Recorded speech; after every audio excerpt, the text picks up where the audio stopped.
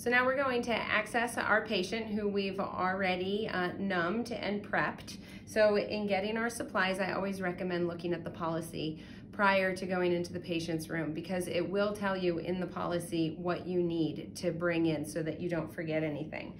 So you will need a port access kit. If you anticipate the patient is going to be admitted, you'll want to put a bio patch on there. You will need to grab a needleless adapter, clave. And then you'll also wanna grab a sterile saline. So this is a sterile saline and they often are attached to the kit, but sometimes they fall off. And this saline that we all see all the time, this is not sterile, so we can use these on ports, but you don't wanna drop it into your sterile field. So as soon as you open up your port kit, the first thing you will see is a mask and one set of gloves. You do have a second set of gloves in the kit.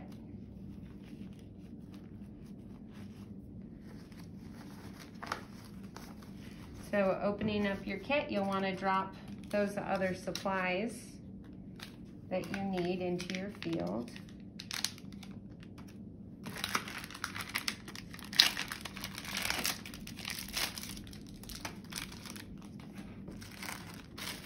And then I'll open up my set of sterile gloves here.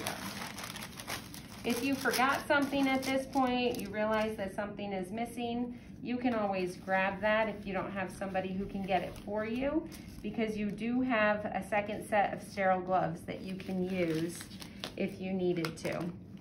So the first thing on top is our needle and this is a power injection needle to go with the power injection port and it says that on there. It also says it on the clamp on the needle.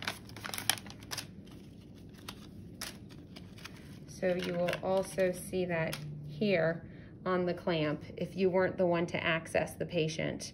Um, you still have that right there for you. So putting your clave onto the end of your needle and then with your sterile saline, you can prime your needle. So this is ready to go.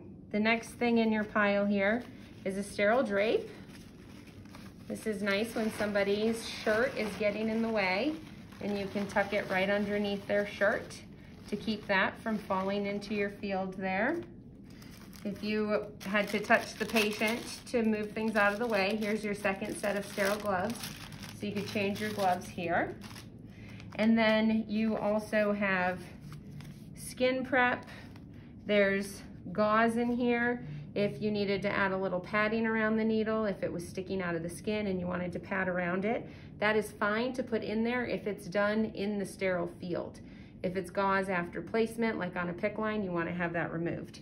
In this situation for padding, it's, a, it's totally appropriate. And then you have your tegaderm as well. So you'll want to clean above that port. Remember, this patient has already been numbed. And I wouldn't re recommend doing it right over your sterile field like I'm doing in this video. And you wanna clean for 30 seconds. We know that a 30 second scrub is more effective than sterile procedure. So after you've done a nice 30 second scrub, you'll wanna let that dry completely. Like I said before, it does take a long time to dry on this plastic. So for timing, I'm gonna go ahead and move on and pretend that it is totally dry. So when you go to access your patient with these needles, you wanna hold the two yellow wings back, and this is what stabilizes the needle.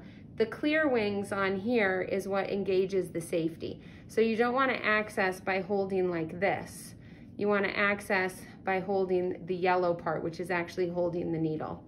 Remove the protective cover, stabilize the port with your non-dominant hand, Taking the 90 degree angle, you just go straight into that port. Those yellow wings then go down. And if you're going to add a bio patch, it's a little hard on this dummy because it's very close to the skin here, but this is actually gonna go underneath the clear plastic wings. See if I can get that nicely on there. And then you can put your tape on top. Now it's appropriate to check for blood return prior to putting all of the tape on, but I was pretty confident that I was in the port, and so I wanted to put the tape on to protect the sterile field. So you can see when you pull back that, that we have this clear pink tinge um, because that's what we have in this dummy, but that's my blood return on there. And when you go to push any kind of fluid in there, you should feel absolutely no resistance. If you don't get blood return, the first thing that you're gonna wanna do is to grab a saline syringe and do what we're teaching everyone to do with D-Access, which is a pulsatile or a push pause to try and move any fibrin sheath or anything that may have formed on that line. So I have a tendency not to remove the bubble in these salines. I just put my syringe upwards so that I don't put that air right in the port. And you're going to go every ml, you're gonna push, push, push, push with a lot of force to try and move that out. Something else that you may wanna do is um, have the patient do some positioning. If they're sitting up like this, you may want them to lay back. You may want them to look in one direction or another put an arm up, try and change the positioning of the line in their body. Maybe it's pulling on the vessel wall and that's why you're not getting blood return. If you are still having trouble with blood return after attempting um, to troubleshoot it, you can move on to the TPA policy, which does require a doctor's order.